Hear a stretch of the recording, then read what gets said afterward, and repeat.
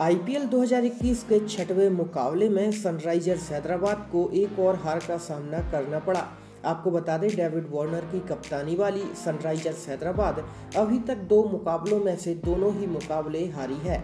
Royal Challengers Bengaluru के खिलाफ खेले गए मैच में सनराइजर्स हैदराबाद सिर्फ़ 150 रनों का लक्ष्य हासिल नहीं कर पाई। हैदराबाद की बल्लेबाजी बुरी तरह से फ्लॉप साबित हुई। डेविड वॉर्नर को छोड़कर कोई भी बल्लेबाज प्रभावित नहीं कर पाया। हालाँकि मनीष पांडे ने 38 रन बनाए, लेकिन उन्होंने उनतालीस गेंदों का सामना किया।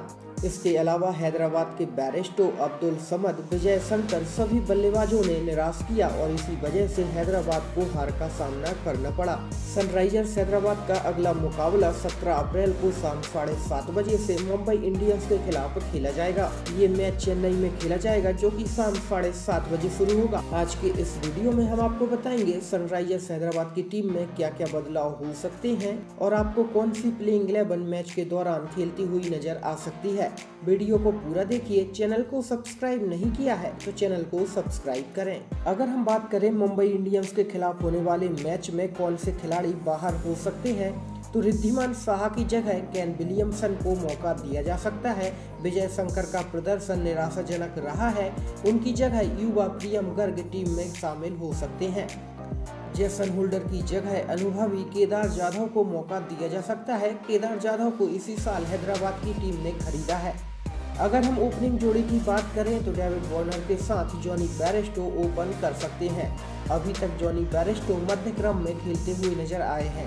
मनीष पांडे, कैन विलियमसन, केदार जाधव और प्रियम गर्ग सनराइजर्स हैदराबाद के मध्य क्रम को संभाल सकते हैं। राशिद खान, भुवनेश्वर कुमार, टी नटराजन और शहबाज नदीम गेंदबाजी की ज़िम्मेदारी संभाल सकते हैं।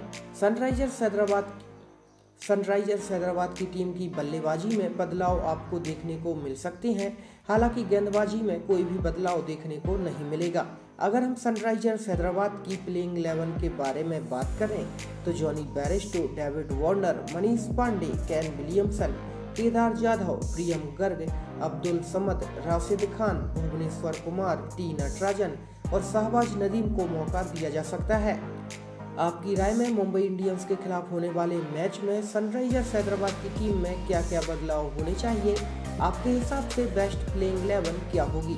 आप अपनी राय नीचे कमेंट करें। चैनल को सब्सक्राइब नहीं किया है तो चैनल को सब्सक्राइब करें।